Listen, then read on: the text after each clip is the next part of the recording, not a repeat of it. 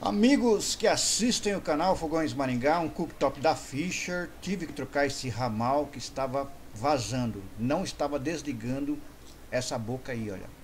Essa tá boa, essa também estava boa, eu conferi todas, verifiquei vazamento.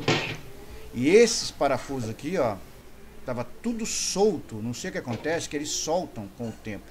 Troquei esse, não, essa borrachinha estava solta, essa parte elétrica não troquei. Esse aí tá amassado, já estava amassado. E essa aí estava solto. Aproveitei que tirei o vidro e coloquei de volta. Tá aí, mais um serviço da Fogões Maringá. Agora vocês estão vendo ele colocado no lugar, já.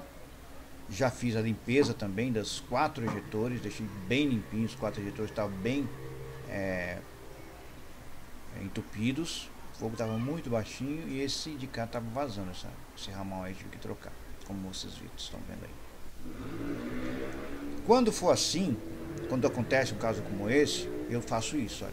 Eu coloco, ligo o fogão, coloco a espuminha para ver se está tudo ok, está vazando, confiro o vazamento em tudo. É claro que eu apertei bem os esses parafusos aí, que estavam soltos, soltos mesmo. Como que vai soltar, né?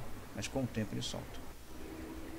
Agora tá aí, tudo limpinho, tudo no lugar. Feito a, a revisão total e a peça trocada. E agora mostrando para vocês o final, né? Tudo funcionando, a parte elétrica funcionando, o fogo bonito funcionando também, né? E o fogão já montado. Se você gostou do vídeo, deixe o seu like, inscreva-se no canal, compartilhe o vídeo também, deixe o seu joinha que é importante para fortalecer o canal também.